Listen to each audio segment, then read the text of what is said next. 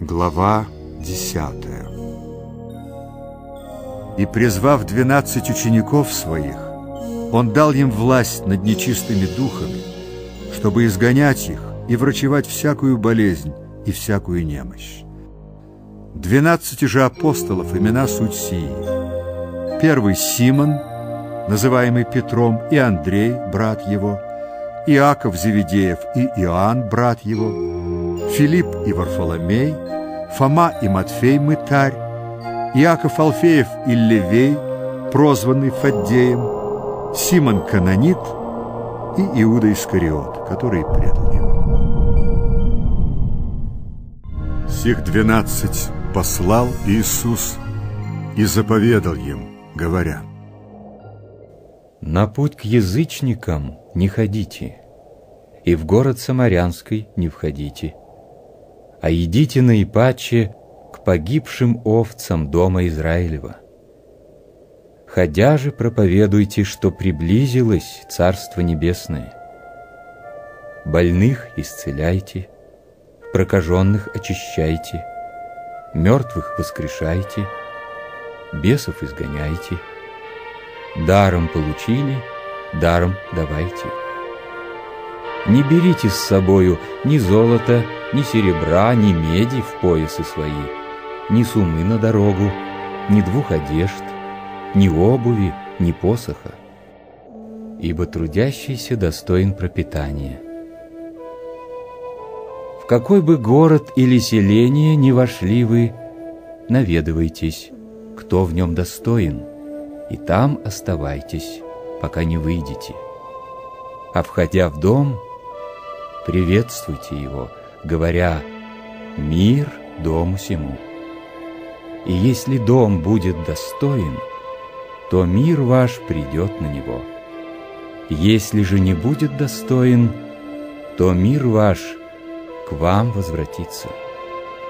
А если кто не примет вас и не послушает слов ваших, то, выходя из дома или из города того, отрясите прах от ног ваших истинно говорю вам, отраднее будет земле Содомской и Гоморской в день суда, нежели городу тому. Вот я посылаю вас, как овец среди волков. Итак, будьте мудры, как змеи, и просты, как голуби. Остерегайтесь же людей, ибо они будут отдавать вас в судилище и в синагогах своих будут бить вас.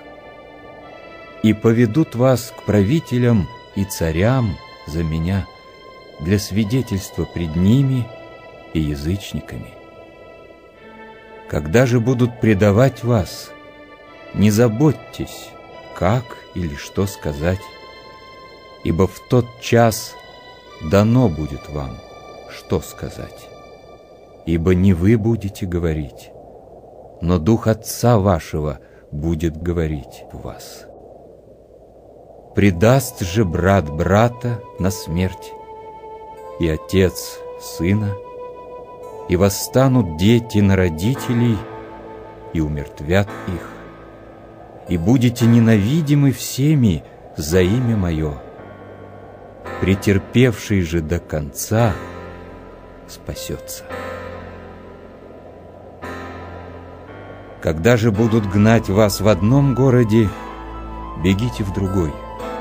Ибо истинно говорю вам, не успеете обойти городов Израилевых, как приидет Сын Человеческий. Ученик не выше учителя, и слуга не выше господина своего. Довольно для ученика, чтобы он был как учитель его и для слуги, чтобы он был как господин его. Если хозяина дома назвали Вейльзевулом, не тем ли более домашних его? И так не бойтесь их, ибо нет ничего сокровенного, что не открылось бы, и тайного, что не было бы узнано. Что говорю вам в темноте, говорите при свете, и что на ухо слышите, проповедуйте на кровлях. И не бойтесь убивающих тело, души же не могущих убить. А бойтесь более того, кто может и душу, и тело погубить в гиенне. Не две ли малые птицы продаются за ассарий? И ни одна из них не упадет на землю без воли Отца вашего. У вас же и волосы на голове все сочтены. Не бойтесь же, вы лучше многих малых птиц. Итак, всякого, кто исповедает меня пред людьми, того исповедую и я пред Отцом моим Небесным. А кто отречется от меня пред людьми, отрекусь от того и я пред Отцом моим Небесным. Не думайте, что я пришел принести мир на землю. Не мир пришел я принести, но меч.